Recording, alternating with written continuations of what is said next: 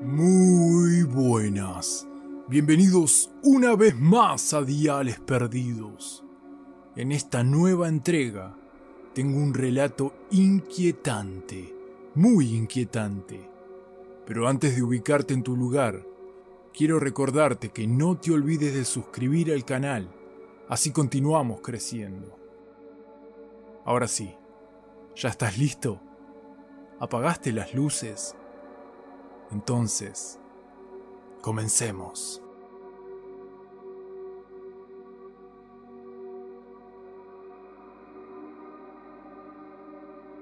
Hola, mi nombre es Xavi y os voy a contar lo que viví junto con unos amigos.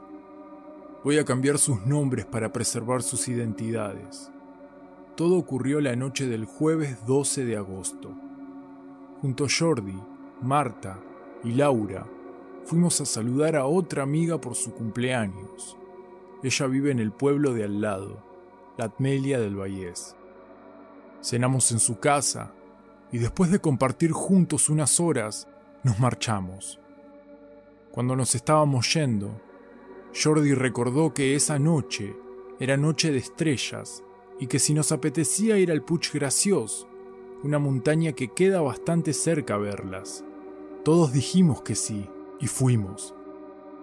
Ya subiendo en el camino de tierra, se veía gente haciendo un picnic nocturno, esperando las estrellas fugaces. Nosotros nos detuvimos unos metros más adelante, nos sentamos encima de una roca, en silencio, disfrutando de la noche y sus estrellas. Después de un tiempo, a Marta se le ocurrió ir a otro lado, porque desde ese lugar en donde estábamos no podíamos ver la luna, la montaña la cubría. A decir verdad, para mí no era necesario, pero bueno, fue tan insistente que terminamos accediendo.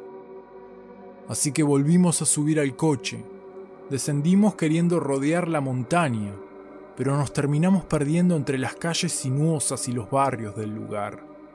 No sé cómo terminamos en una calle solitaria de tierra que pasaba por un bosque alejado de todas las casas.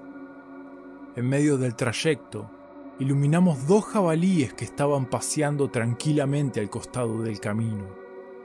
Continuamos unos metros más y aparcamos a un costado. Aunque no se lograba ver completamente el cielo por las copas de los árboles, el lugar estaba muy lindo y todo para nosotros. Marta se alejó unos metros de nosotros y se recostó en el suelo. Apenas podía verla por la oscuridad. Jordi y Laura se tumbaron en el suelo boca arriba, a un costado del coche, y yo estaba apoyado en el capot. Al cabo de unos momentos, en pleno silencio se oían ruiditos en el bosque, ruidos de ramas moviéndose o quebrándose, y Laura preguntó, ¿Oyen esos ruidos? Le contesté que sí, que seguro era un animal que estaba por ahí, y de pronto se escuchó un poco más lejos el relincho de un caballo, que de hecho continuó escuchándose de tanto en tanto. Eso la tranquilizó, y a mí también. Continuábamos en silencio, esos silencios tan agradables que no vale la pena emitir palabra. Pero un momento después, me pareció ver delante de mí, a unos 20 metros, algo que cruzó el camino saliendo del lado izquierdo del bosque para volver a adentrarse por el derecho. Era una persona, creo. Solo vi una sombra oscura o una mancha negra. La única luz que había era la de la noche clara, que apenas atravesaba la arboleda. Enseguida empecé a pensar que tal vez había alguien también viendo las estrellas. No quise alertar a mis amigos, pero desde ese momento no me pude relajar estaba atento a cada ruido que oía. Parecía que todo estaba calmo y que mi vista me había jugado una mala pasada. Pero lo siguiente, lo siguiente ocurrió tan rápido que aún, aún lo estoy procesando. Los ruidos, los ruidos en el bosque incrementaron. Tal vez se oían más cerca o no sé, pero no fui el único en notarlo. Laura se levantó y se puso junto a mí sin decir nada. Algo en el ambiente había cambiado. A mi parecer, algo nos estaba observando oculto entre los árboles. Y lejos, pero a su vez parecía cerca, se oyó como un grito, un quejido. Una mujer, pero con la voz gastada. No terminó de oírse ese grito que le dije a Laura que ya estaba aterrada, que despierte a Jordi, que aún seguía tumbado en el suelo. Era obvio que estaba dormido y que no oyó nada. Sin entender nada, Jordi se levantó. Laura le decía que nos teníamos que ir. Y se oyó el caballo. Se oyó el caballo relinchar varias veces seguidas, fuerte, asustado. Y otra vez ese grito. No aguanté más y comencé a gritar. ¡Marta! ¡Marta! ¡Corre, corre rápido! No sabía qué estaba ocurriendo, si tendría algo que ver esa silueta o sombra que vi pasar. No sabía por qué se asustó el caballo, pero tampoco, pero tampoco estaba dispuesto a quedarme ahí. Me subí al auto ni bien se subió Marta, y Jordi comenzó a conducir rápido. Después de un par de kilómetros llegamos a una ruta principal y por fin nos pudimos tranquilizar.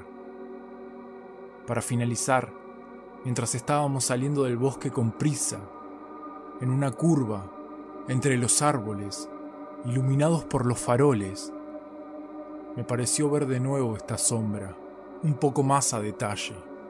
Igual no sabría describirlo bien, porque fue tan rápido, pero era bastante alto o alta. Me pareció ver uñas largas y me pareció ver pelo, mucho pelo, mucho pelo largo.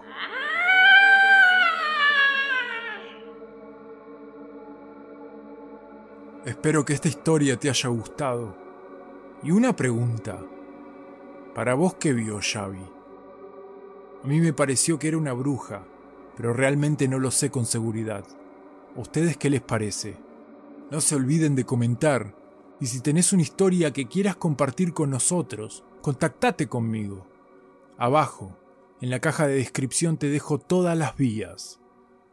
Muchas gracias por estar y muy pronto te estaré contactando en otro Dial Perdido.